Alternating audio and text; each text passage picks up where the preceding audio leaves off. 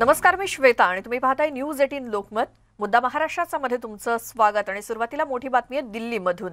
दिल्लीमध्ये कोरोनाच्या पार्श्वभूमीवर काही कडक निर्बंध लागू करण्यात आलेले आहेत. दिल्ली डिझास्टर मॅनेजमेंट ऑथॉरिटीचे हे आदेश आहेत.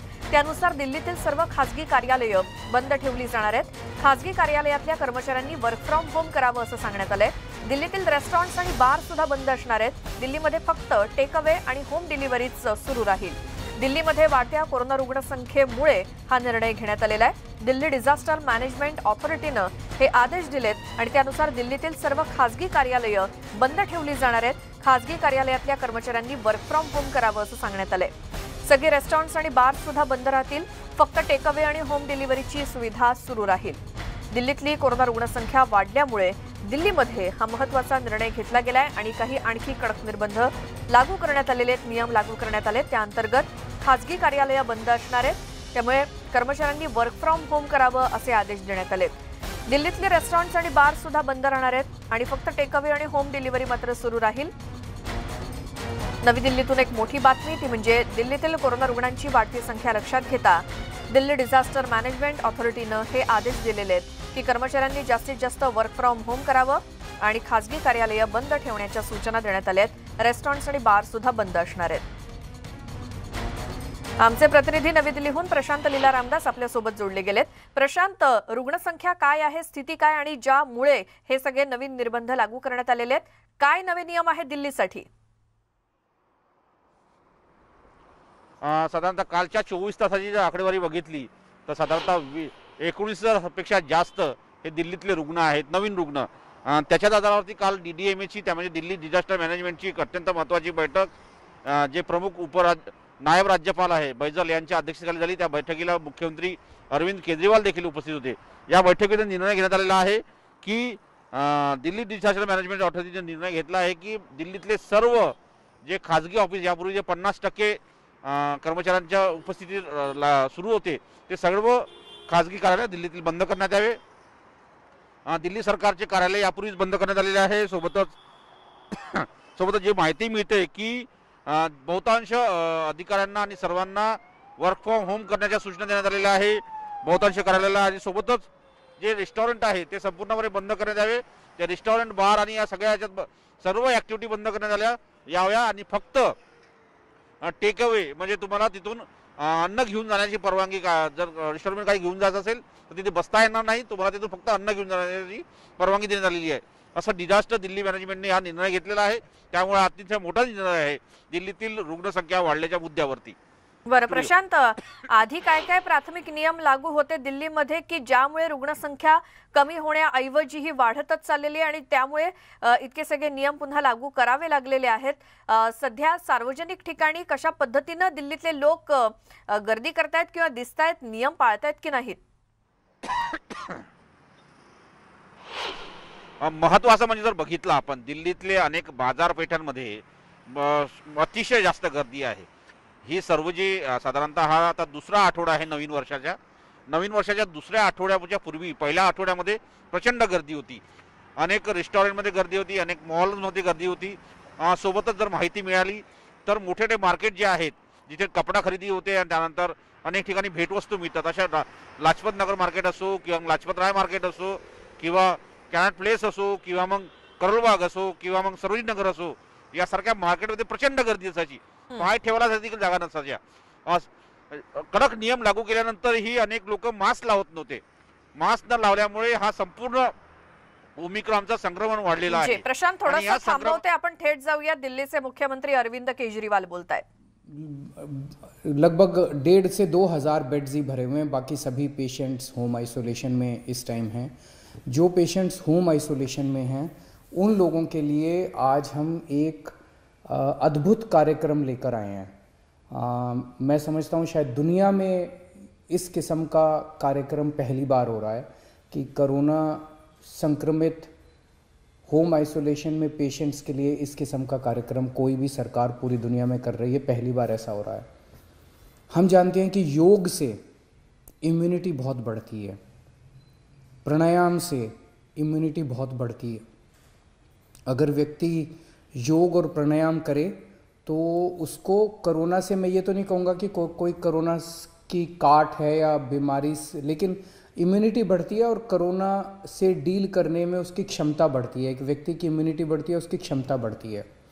तो जो जो लोग होम आइसोलेशन में इस टाइम हैं उनके लिए स्पेशल योगा के और प्राणायाम के कुछ क्लासेस हम लोग शुरू कर रहे हैं।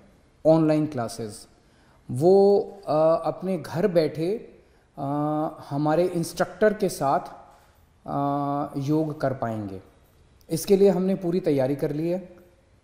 इंस्ट्रक्टर्स की एक बहुत बड़ी टीम तैयार की गई है। दिल्लीनंतर संपूर्ण देशभरासाठी काय नियम आहेत ते देखील पाहूयात. रुग्णाच्या संपर्कातील व्यक्ती म्हणजे अति जोखमीच्या गटातली ती व्यक्ती नसेल हाय रिस्क कॉन्टॅक्ट मधली नसेल तर त्याला कोरोना टेस्ट करण्याची आवश्यकता नाही असा एक दिलासादायक निर्णय केंद्रानं दिलेला आहे. कोरोना चाचण्यांसंदर्भात भारतीय वैद्यकीय संशोधन परिषदेनं म्हणजेच आयसीएमआरनं मार्गदर्शक सूचना दिलेले आहेत जारी केले आहेत. त्या अंतर्गत संपर्कातील व्यक्तींनाही चाचणी करावी लागते. म्हणजे एखाद्या कोरोनाबाधित रुग्णाच्या संपर्कात जर आपण आलो तर आपल्याला देखील टेस्ट करावी लागते.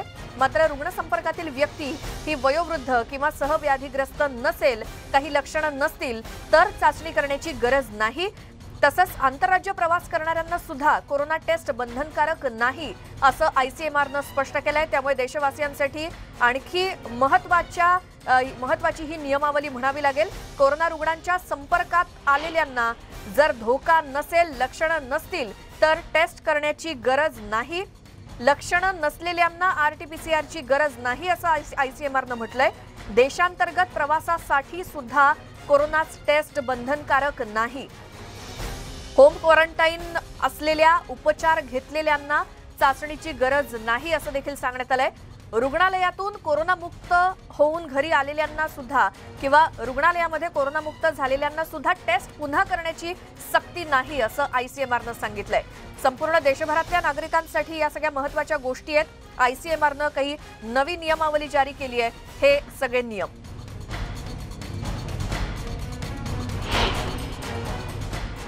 राज्यामध्ये कोरोना रुग्णसंख्येचा दर मोठा आहे. कोरोनाची तिसरी लाट आली असल्याचं राज्याचे आरोग्यमंत्री राजेश टोपे यांनी सांगितलं आणि सध्या वाढणारी कोरोना रुग्णसंख्या ही आणखी वाढेल आणि ती जानेवारी अखेरीस उच्चांक गाठेल. त्यानंतर रुग्णसंख्येचा आलेख कमी होण्याची शक्यता असल्याचं आरोग्यमंत्री म्हणाले.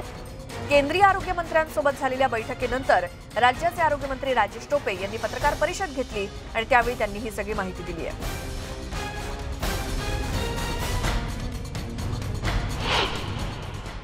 जी वाढ होईल तिचा आकडा कोणता अतिशय पीकला जाईल? जसं सेकंड वेव्हमध्ये पासष्ट हजार दररोज रुग्ण येत होते तो पीक होता. आणि त्याच्यानंतर तो खाली आला. आता हा तिसऱ्या लाटेचा जो पीक आहे तो दररोज किती पॉझिटिव्ह राहील याचा आज अंदाज बांधणं शक्य नाही परंतु तो पीक कदाचित मिड जानेवारी किंवा आता मिड जानेवारीला आपण आहोतच जवळजवळ पण साधारण जानेवारी एंडच्या दरम्यान पीक यावं अशी परिस्थिती वाटते त्याच्यानंतर तो खाली जावं अशी एक तज्ज्ञांच्या अनुषंगांचे चर्चेतलं मत आहे. या संदर्भात आपण अधिक बोलणार आहोत. महाराष्ट्र कोविड टास्क फोर्सचे सदस्य डॉक्टर उदय बोधनकर आपल्यासोबत आहेत फोन लाईनवरती डॉक्टर तुमचं स्वागत न्यूज एटीन लोकमतमध्ये तिसरी लाट तर सुरू झालेलीच आहे. या तिसऱ्या लाटेबद्दल सर्वसामान्यांना अगदी सोप्या भाषेत काय सांगाल? धन्यवाद न्यूज एटीन लोकमतचे. सर्वसामान्यांना मी एकच सांगेल की लाट आली आहे थर्ड वेव्ह आली आहे हे आपण जाणतोच आहे. जा- या लाटेच्या आता आयसीएमआरच्या न्यू गाईडलाईन आल्या तुम्ही सांगितलं आता. त्यामुळे टेस्टिंग आजकाल रॅपिड अँटीजेन जी आहे ती ती त्यांनी ओके केली आहे घरी. ती जर का पॉझिटिव्ह आली तर तुम्ही पॉझिटिव्ह समजा निगेटिव्ह आली आणि तुम्हाला जर का खोकला सर्दी काय असेल तर मग तुम्ही आर टी करा. हे झालं. त्यानंतर मला वाटते लाटेबद्दल घाबरून जाण्याचं कारण नाही पण याचा अर्थ असा नाही की आपण आपण खूप रिलॅक्स झालो. लोक मला म्हणतात सर सर आम्ही म्हणजे तुम्ही मास्क का नाही घालत? ते म्हणतात सर याचा तर धोका नाही आम्हाला कळला. माईल होतं. मग कशाला काढायचं असं नाही आहे. कारण की आपण पाहिलं आफ्रिकेमध्ये लाट आली पूर्ण आणि मग ती ओसरली दीड महिन्यामध्ये दोन महिन्यामध्ये. तर आपली पहिली जी लाट आली त्याला पाच सहा महिने लागले दुसऱ्याला चार महिने लागले.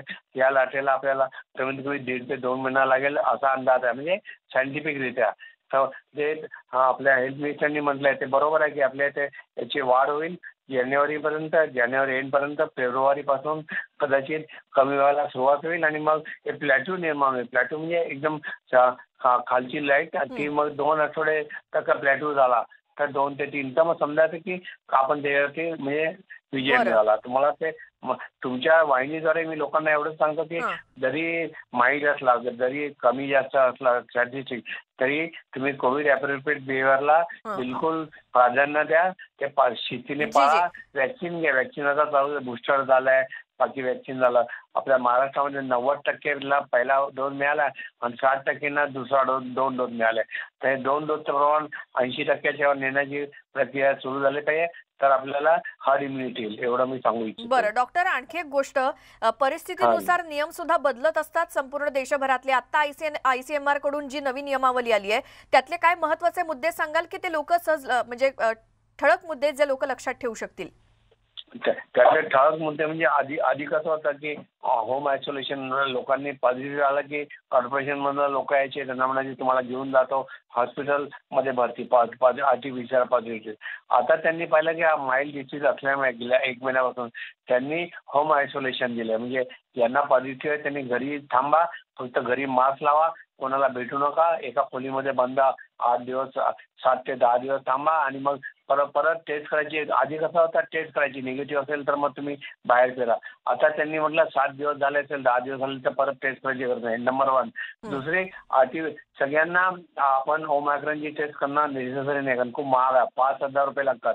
तर त्यांनी म्हटलंय की घरी रॅपिड अँटीजेन टेस्ट जी निघाली रॅट ती टेस्ट करा. घरी करा किंवा कुठे करा ती जर का पॉझिटिव्ह आली तर नक्की पॉझिटिव्ह तुम्ही. तर तुम्ही आयसोलेट होऊन जा स्वतःला घरी. जर का तुम्हाला सिम्टम असेल सर्दी खोकला ताप किंवा श्वासाला त्रास असेल तर त्यावेळेला डॉक्टरला कन्सल्ट करून मग तुम्ही हॉस्पिटलायझेशन व्हा म्हणजे आपल्या ते दवाखान्यामध्ये भरती होण्याचे जे प्रमाण होतं आधी खूप वाढलं होतं जसं ओमाग्रा ते आता कमी होईल ज्यांना खरंच गरज आहे त्यांना जी. होईल आणि तुम्ही ज्यांना रॅपिड अँटीजेन ते निगेटिव्ह आली तरी मग त्यां- मग त्यावेळेला त्यांना सर्दी खोकला ताप आणि श्वासला त्रास असेल. टेस्ट गेली असेल तर त्या लोकांनी फक्त आर्टिफिशियल करायची म्हणजे आधी. कसं आर्टिफिशियल सगळ्यांना करायचं आपण rapid antigen test is also very sensitivity ninety nine percent add करून घ्या निगेटिव्ह आली आणि तुम्हाला सिम्टम असेल तरच आर्टिफिशियल करा नंतर करू. नका एवढं म्हटलं डॉक्टर खूप धन्यवाद तुम्ही न्यूज एटीन लोकमतशी बोललात आणि ही अतिरिक्त माहिती दिलीत. थोडक्यात काय तर एखाद्या कोविड पेशंटच्या कॉन्टॅक्टमध्ये आल्यानंतर जर लक्षणं नसतील तर त्या हायरिस्क कॉन्टॅक्टमधल्या व्यक्तीला कोरोना टेस्ट करण्याची गरज नाही जर लक्षणं नसतील तर. किंवा कोरोना झाल्यानंतर हॉस्पिटलमधून कोरोनामुक्त झाल्यानंतर पुन्हा टेस्ट करण्याची गरज नाही.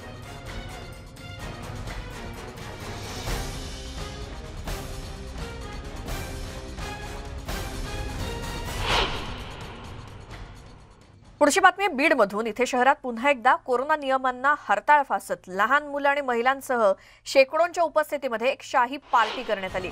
शहरातील आशीर्वाद लॉन्समध्ये पटेल नामक एका राजकीय नेत्याकडून या पार्टीचं आयोजन करण्यात आलं होतं. विशेष म्हणजे या शाही पार्टीला शहरातील अनेक लोकप्रतिनिधी पुढारी अनेक प्रतिष्ठित लोक उपस्थित होते. यापैकी अनेकांच्या तोंडाला मास्क सुद्धा नव्हतं. या सोहळ्यादरम्यान तहसील प्रशासन कारवाईसाठी गेलं होतं. मात्र आयोजक राजकीय असल्यामुळे आयोजकांना अनेकांना फोन केला आणि केवळ हजार रुपयात मांडवली गेली. लग्न समारंभांना केवळ पन्नास जणांची उपस्थिती आहे. नियम मोडल्यास प्रत्येक व्यक्तीला पाचशे रुपयांचा दंड आकारला जातो. मात्र इथे केवळ थातुरमातुर कारवाई करण्यात आली. त्यामुळे सर्वसामान्यांना एक नियम आणि राजकीय नेत्यांना दुसरा असं का असा सवाल देखील विचारला जातोय. बीडमधून आमचे प्रतिनिधी सुरेश जाधव फोनलाईन वरती आहेत. सुरेश ही पार्टी नेमकी काय होती? कोण आयोजक होते? कारवाई करण्यासाठी आलेल्यांनी फक्त एक हजार रुपयांचाच दंड कसा काय आकारला? बीड शहरातील रस्त्याला लगतच असलेलं आशीर्वाद म्हणून मंगल कार्यालय आहे आणि या आशीर्वाद मंगल कार्यालयामध्ये पटेल यांच्या घरातील कौटुंबिक पार्टी ठेवलेली होती लग्नाच्या पार्टी होती असं प्राथमिक माहिती समजते. मात्र या ठिकाणी मोठ्या प्रमाणात महिला त्याचबरोबर मुलं सर्वच जण हजर झाले होते आणि मोठ्या डामडोलामध्ये ही पार्टी सुरू होती. कोरोनाचे नियम बीडमध्ये वाढती कोरोनाची रुग्णसंख्या आणि रस्त्याच्या कडीला असताना मोठे प्रशासन पोलीस प्रशासनाच्या गाड्यातून जात होत्या. नगरपालिका देखील त्या ठिकाणी होती. आणि विशेष म्हणजे ज्यावेळेस काही सामाजिक कार्यकर्त्यांनी त्यांनी सांगितल्यानंतर पोलीस आले मात्र आल्यानंतर कारवाई करत असताना देखील त्यांनी किती दंड ठेवायचा याच्यावरून त्या संयोजकालाच विचारलं. संयोजकांनी राजकीय अ, राजकीय पुढाऱ्यांना फोन करून परत फक्त हजार रुपयाचाच दंड करून घेतला. म्हणजे एकीकडे कोरोनाची एवढी मोठी संख्या वाढते त्यात नवीन येणारे व्हेरियंट वेगवेगळे आहेत आणि अशा परिस्थितीमध्ये एवढ्या लोकांना एकत्रित जमून जमवून त्यांना जेवणाची दावत देणं त्या त्या ठिकाणी एकत्रित जमणं हे अतिशय धक्कादायक आहे. कारण बीड जिल्ह्यामध्ये जर अशा पद्धतीने जी म्हणजे कमी झाल्याने कोरोनाची रुग्णसंख्या आहे हे अशा पद्धतीने मोठे मोठे कार्यक्रम घेतले तर पुन्हा आणखी मोठी संख्या वाढणार आहे. त्यामुळे आता जिल्हा प्रशासनाने यांच्यावरती आणि ते विशेष म्हणजे बीड शहरामधीलच नाही तर अनेक ठिकाणी काही चोरी छुप्या पद्धतीने मंगल कार्यालयामध्ये लग्न सुद्धा होत आहेत मोठमोठे सोहळे होत आहेत. तर त्याच्यावरती काही निर्बंध लागणार का? हे सुद्धा आता पाहणं तितकंच महत्वाचं ठरणार आहे. जी हजार रुपये देऊन रात्रीचा दंड ठेवून त्यांच्यावरती कारवाई केली. त्यानंतर मात्र आता नागरिकांमधून संताप व्यक्त केला जातोय. सुरेश धन्यवाद या सगळ्या माहितीसाठी. त्यामुळे सर्वसामान्यांना एक नियम आणि राजकीय नेत्यांना दुसरा. यावरूनच आता संताप वाढू लागलाय. बीडमधली ही पार्टी पाहून जिथे पन्नास जणांनाच उपस्थिती मान्य आहे किंवा परवानगी आहे लग्न समारंभासाठी किंवा इतर कोणत्याही कार्यक्रमासाठी. आणि तिथे इतक्या मोठ्या प्रमाणात गर्दी जमवलेली पाहून तिथे आलेल्या कारवाई करण्यासाठी आलेल्या प्रशासकीय अधिकाऱ्यांनी सुद्धा राजकीय नेता आहे म्हटल्यावर फक्त एक हजार रुपयांचा दंड आकारला. हाँ चलो चलो. यानंतर एक मोठी बातमी येते ती म्हणजे लता मंगेशकर यांना कोरोनाची लागण झाली आहे. त्यांना सध्या आयसीयू मध्ये दाखल करण्यात आलंय. तिसऱ्या लाटेमध्ये लता मंगेशकर यांना देखील कोरोनाचा विळखा आणि कोरोनाची लागण झाल्यानंतर त्यांना सध्या आयसीयू मध्ये ठेवण्यात आलंय. ब्रिज कँडी हॉस्पिटलमध्ये गानसम्राज्ञी लता मंगेशकर यांना उपचारासाठी दाखल केलं गेलंय आताची एक मोठी बातमी समोर येते. बडे नेते काही राजकारणी अनेक नेत्यांना किंवा व्ही आय पीजना कोरोनाची लागण झाल्याच्या बातम्या आपण पाहत असतो.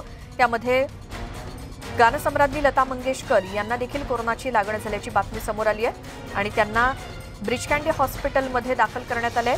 आयसीयूमध्ये त्यांच्यावरती उपचार सुरू असल्याची माहिती मिळते आहे लता मंगेशकर यांना कोरोनाची लागण झाल्याची ही बातमी. ब्रिजकांडी हॉस्पिटलमध्ये त्यांना दाखल केलं गेलं आहे आणि आयसीयूमध्ये उपचार त्यांच्यावरती सुरू आहेत. आणखी आपण माहिती घेण्याचा प्रयत्न करूयात मात्र सध्या जी प्राथमिक माहिती समोर येते त्यानुसार ब्रिजकँडी हॉस्पिटलमध्ये त्यांच्यावरती उपचार सुरू आहेत मात्र त्यांना आयसीयूमध्ये दाखल करण्यात आलेलं आहे. लता मंगेशकर यांना कोरोनाची लागण झाली. तिसरी लाट ही संपूर्ण देशभर राज्यभर कोरोनाची तिसरी लाट सुरू आहे. आणि या लाटेदरम्यान काही राजकीय पुढारी काही व्ही आय पीज हे सुद्धा कोरोनानं ग्रासलेले आहेत. आणि यामध्ये आता लता मंगेशकर यांना देखील कोरोनाची लागण झाल्याची बातमी येते.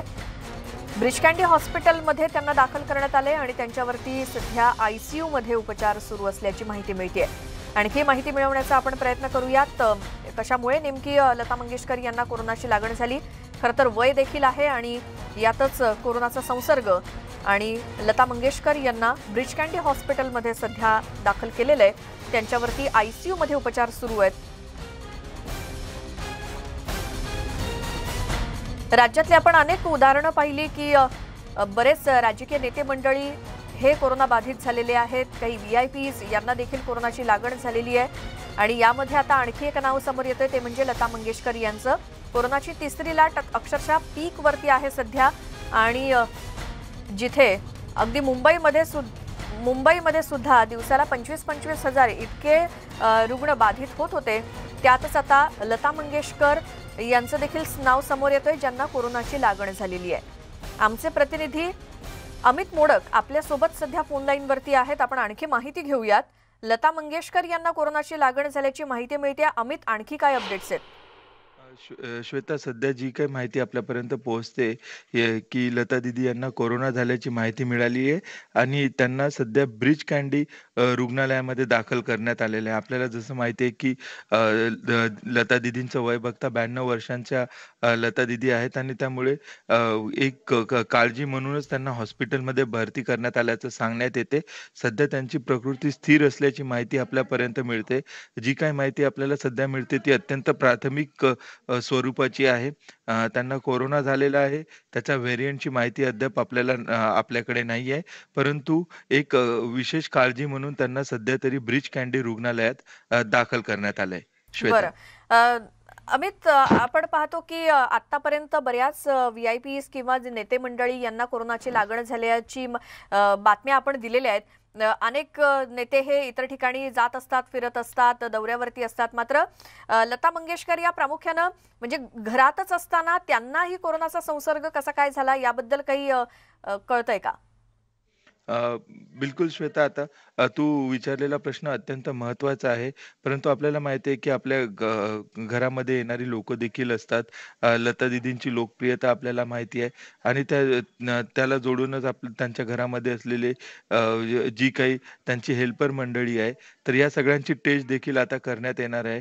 अ, मुख्यतः दीदींना ही लागण कुठून झाली अ, याची देखील अ, माहिती घेण्यात येईल. कारण त्याबाबत अद्याप कुठली ठोस माहिती समोर अ, येताना दिसत नाही नाहीये. दीदीचं वय आणि आजार या दोन्ही गोष्टी लक्षात घेता त्यांना तातडीनं ब्रिज कँडी हॉस्पिटलमध्ये दाखल करण्यात आले जेणेकरून त्यांच्यावर आणि त्यांच्या आरोग्यावर लक्ष ठेवण्यात येऊ शकतं योग्य प्रकारे. डॉक्टर्स त्यांच्या उपचारासाठी 24 तास उपलब्ध असतील. कारण सध्या जी माहिती आहे ती अत्यंत प्राथमिक स्वरूपाची असल्यामुळे आपल्याला नेमका हा ही लागण दीदींना कशी झाली याबाबत सध्या आपल्याकडे कुठली ठोस माहिती नाहीये श्वेता. बरं अमित आणि नंतर साधारण हॉस्पिटलकडून सुद्धा म्हणजे ब्रिज कँडी हॉस्पिटल किंवा लता मंगेशकर यांच्यावरती उपचार करणारे डॉक्टर्स यांच्याकडून देखील माहिती आपल्याला मिळू शकते. की नेमकी काय स्थिती आहे? मात्र कधी त्यांना हॉस्पिटलमध्ये ऍडमिट करण्यात आलं आणि त्यांची टेस्ट कधी पॉझिटिव्ह आली? याबद्दल काही कळलंय का? अ, ही थोड्या वेळापूर्वीच मिळालेली माहिती आहे. साधारणतः आज आज सकाळपासून त्यांच्या प्रकृती अ, अस्वस्थ कालपासून त्यांना जाणवत होतं. त्यानंतर टेस्ट करण्यात आली आणि आज सकाळच्या अ, वेळेत त्यांना त्यांचे रिपोर्ट मिळालेले आहेत आणि त्यानंतर तातडीनं त्यांना रुग्णालयात दाखल करण्यात आलं. अ, ब्रीच कँडी हे त्यांच्या घरापासून जवळच पडतं. त्यामुळे त्यांना प्राथमिक स्वरूपात तिथे भरती करण्यात आलेलं आहे. त्यांचं वय बघता आणि त्यांची लोकप्रियता बघता आपल्या सगळ्यांना माहिती आहे, की लता दीदींना कोरोनाची लागण झाल्यामुळे त्यांचे हजारो लाखो चाहते आहेत. तर हे प्रत्येकासाठीच देखील चिंतेची बाब आहे. त्यांच्या प्रकृतीची चिंता आणि काळजी सगळ्यांनाच असते. त्यामुळे जास्त काळजी घेण्यासाठी त्यांना रुग्णालयात दाखल करण्यात आलेलं आहे. जी काही माहिती आपल्यापर्यंत पोहोचते त्यानंतर आपल्याला ब्रीच कँडी हॉस्पिटलमधून देखील दुपारनंतर अधिक माहिती मिळण्याची शक्यता अमित धन्यवाद या सगळ्या माहितीसाठी. त्यामुळे या संदर्भातली माहिती मिळवून आम्ही वारंवार तुमच्यापर्यंत पोहोचवत राहूच. मात्र सध्या जी प्राथमिक माहिती मिळाली आहे त्याअंतर्गत लता मंगेशकर यांना कोरोनाची लागण झाली आहे हे स्पष्ट झालंय आणि म्हणूनच त्यांना ब्रिज कँडी हॉस्पिटलमध्ये दाखल केलं गेलं आणि आयसीयू मध्ये त्यांच्यावरती उपचार सुरू आहेत.